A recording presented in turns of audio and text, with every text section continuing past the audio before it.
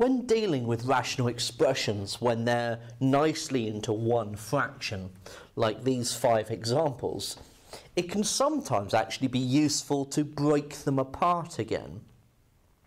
Now, we will be later on moving into partial fractions, but one technique that you can already employ from this is using polynomial division. So the main reasons to why you might actually want to do this is uh, I can think of two uh, main reasons off the top of my head. One is for integration purposes. Um, if you wanted to integrate uh, each of these, then it would certainly be easier if you had um, them written as partial fractions or in a simpler form. Some of these will still be uh, a severe problem, of course, for integration. Um, but this process can certainly help. The other is understanding uh, about the analysis of the function um, and thinking about what the function looks like, especially what it behaves like as x increases over time.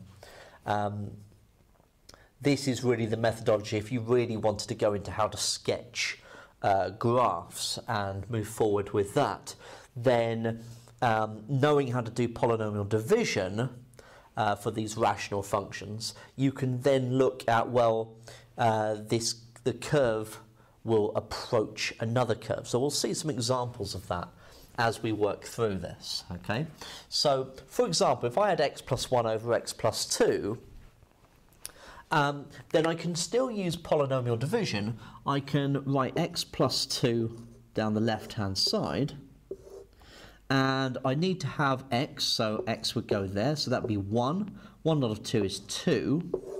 And I need 1, so I'm going to have to subtract 1 away. So that's my remainder. So I get 1, uh, and the remainder is minus 1. So take away 1 over the x plus 2.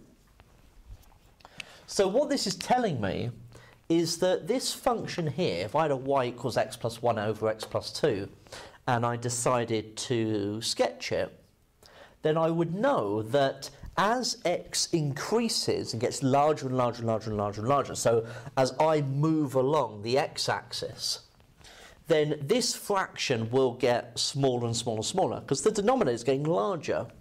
And so as x increases, this function gets closer and closer and closer to 1. So the, just the line y equals 1. And so I know that y equals 1 is actually a horizontal asymptote the that the curve is approaching.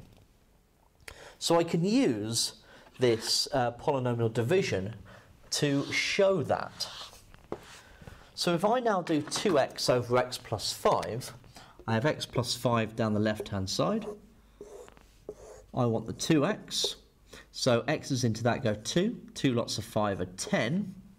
I don't have uh, anything there, so I'm going to have to subtract 10. So this would be 2 take away 10 over x plus 5. So for this curve, as x increases, or even if it's going into the um, left, um, so as x is increasing but in the negative direction as well, this curve will tend towards y equals 2. Okay? And so I can see that as a horizontal asymptote. Now for x squared plus 2x plus 5 over x plus 2, x plus 2 on the left hand side, we'll have x squared, so x there, 2x there. I've already got 2x, so that'll be 0x, so that'll be 0, that'll be 0. I don't want 0 there, I want 5, so I'm going to have a 5 remainder. So this is equal to x plus 5 over x plus 2. The remainder was 5. So what that means is that for this curve, as x increases, it starts to behave like y equals x. So it approaches y, the diagonal line y equals x as x tends to infinity, okay, in either direction. So that's quite interesting. So close, close to uh, minus 2, obviously something horrible is happening. But as you get further and further and further away, this curve will start to look like the diagonal line y equals x.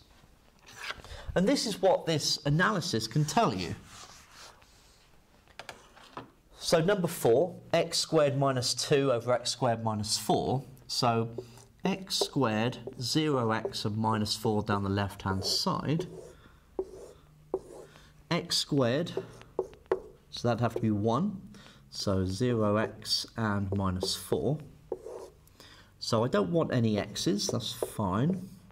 Uh, but I want uh, minus 2, so I'm going to have to have a positive 2 there. So I've got this remainder. So this would be 1 uh, plus 2 over x squared minus 4. So this curve clearly tends towards y equals 1 as x increases. And then finally number 5.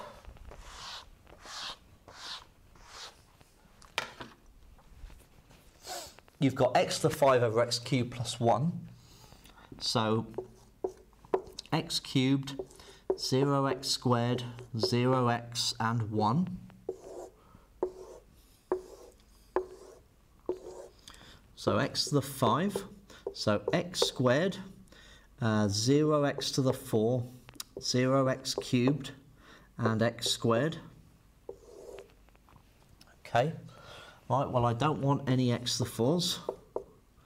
Um, so I'm going to have uh, 0x there, 0x cubed, 0x squared, 0x. Okay. Um, now, I for cubes, I don't want any cubes, so 0x cubed there. So that'd be 0 as 0x squared, 0x and 0. Now the 0x squareds, well there's x squared, so I don't want an x squared, so I'm going to have to have minus x squared up there in order to cancel that x squared. And that's my remainder. So I would have um, the x squared in the numerator, oh sorry, the x squared up here, and then I've got minus x squared over x cubed plus 1. So as x increases, this fraction will be overpowered by the denominator. The x cubed will increase faster than that x squared, and so the denominator overpowers the numerator so that as x increases, this fraction gets closer and closer and closer to zero.